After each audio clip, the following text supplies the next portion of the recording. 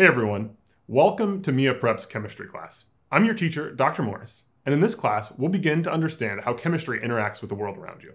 It's our hope that by the end of the class, you'll grow an appreciation for how chemistry plays a role in everyday life. But first, what is chemistry?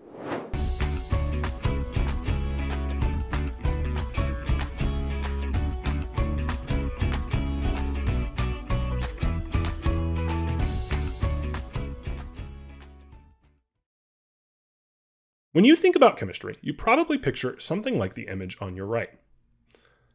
A scientist in a lab coat, chemicals everywhere, glassware, strangely colored solutions. And you're right, that is chemistry. But so too is the picture on the left a woman baking bread. Every time we cook in the kitchen, we run hundreds and thousands of chemical reactions that prepare food for our bodies to eat. It makes them safe by killing bacteria. It makes them easier to digest by breaking down complicated nutrients into simpler ones. And also, the picture in the center, the glowing orb that is the sun, is chemistry. Constant nuclear reactions release countless quantities of energy that emit tons of light that shower down on the earth, providing all the plants with the energy they need, which in turn provide us with all the energy we need. So chemistry really is important. But if all three of these things are considered chemistry, what is chemistry? Well, that's what we'll look at in this video. We'll think about what chemistry is, and we'll start with some straightforward, more simple examples, and we'll move to some interesting technological applications and some really cool ways we see chemistry in the world. Okay, well, what's a definition of chemistry? Chemistry is the study of matter and its transformations. And both of those parts are important. It's the study of matter and its transformations, how it changes. But first, what is matter? Well, matter is just anything that takes up space. And that's important. Matter is something that takes up space. And here are three examples of the different types of matter we have around us. Solid is that first example you see on the far left. It has a fixed shape and a volume. So if I drop a penny into a flask, it stays shaped just like a penny, and it has the same volume as a penny. On the other hand, if I pour water into a flask in the center, I have a liquid, and it's going to take the shape of its container. So it doesn't have a fixed shape. Before, it could have been in a different shaped glass. And now it looks like a flask shape. However, its volume stayed the same. If I had a cup of water before, I still have a cup of water. Lastly, we have gas. And gas expands to fill the container, so it doesn't have a fixed shape or volume. If I put just a little bit of gas in an empty flask, it will spread out and fill the whole thing. Okay, so that's three different types of matter. And we might ask ourselves, like, why is something solid at a particular temperature? Why is something a liquid? What does it mean exactly in terms of the molecules to be a liquid? And those are the sorts of questions we'll start to answer in this class. One thing to realize is that all the matter around us is made of atoms and molecules. And so, for example, maybe this is an ice cube, a nice cubical ice cube, which makes sense because they're called ice cubes, right? And ice cubes are made out of water, which we know is H2O. It has one oxygen and two hydrogens, and we can represent that like this with one oxygen in the middle and two hydrogens off on the side.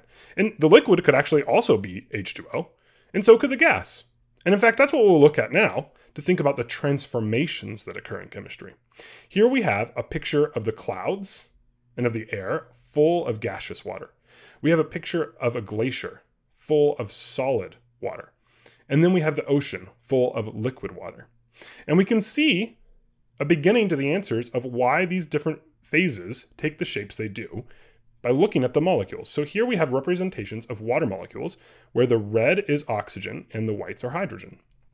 Notice in the gas, those molecules are really spread out. Notice in the solid, they're close together and they're in this nice, tightly packed structure, a very organized structure. In fact, that makes ice what's called a crystal. It has this repeating, nice structure. And that makes it solid. And we'll talk more about why later. Then we have liquid. The molecules are close together, but they're kind of disorganized.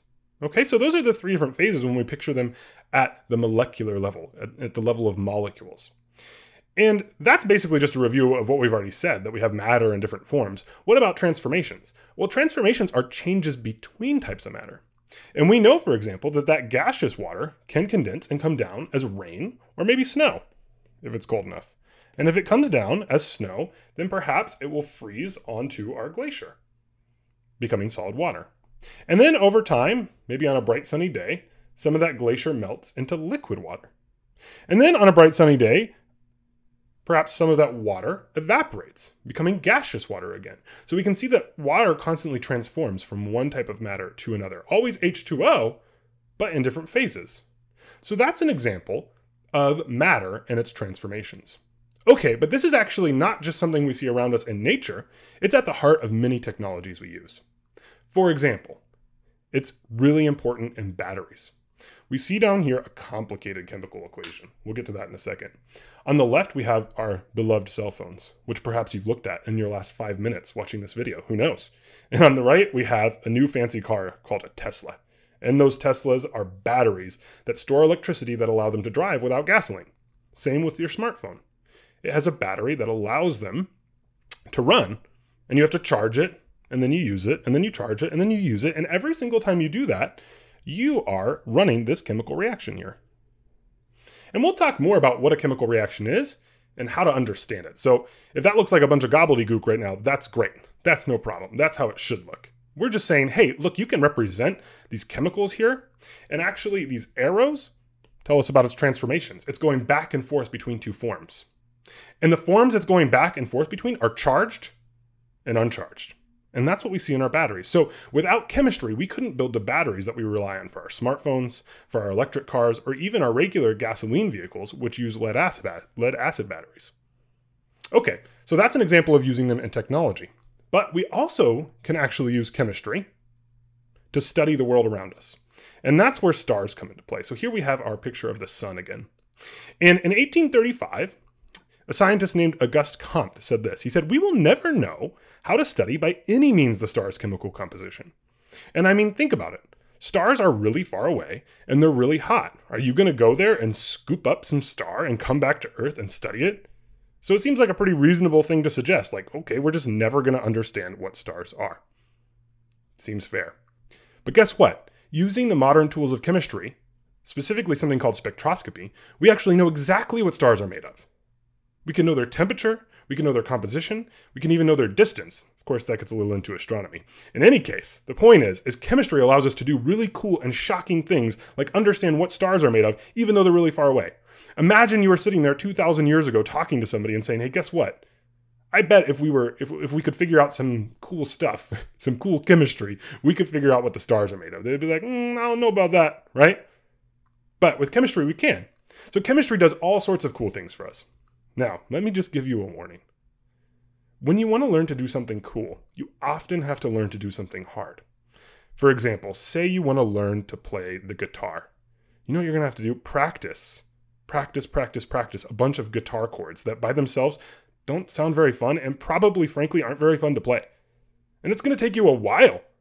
But eventually, once you know many chords and you've gotten good at them, you can put them all together to make something beautiful and awesome. And that's kind of the way chemistry works too.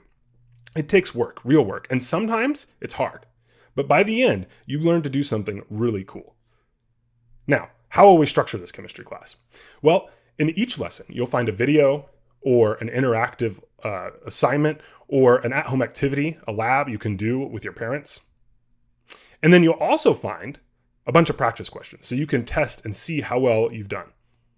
And then there'll be an assessment so you can really check yourself like a test basically to say, hey, how well have you learned this content? And we hope that after you get through these lessons, you'll know and love chemistry just as much as we obviously do. Hey, hey.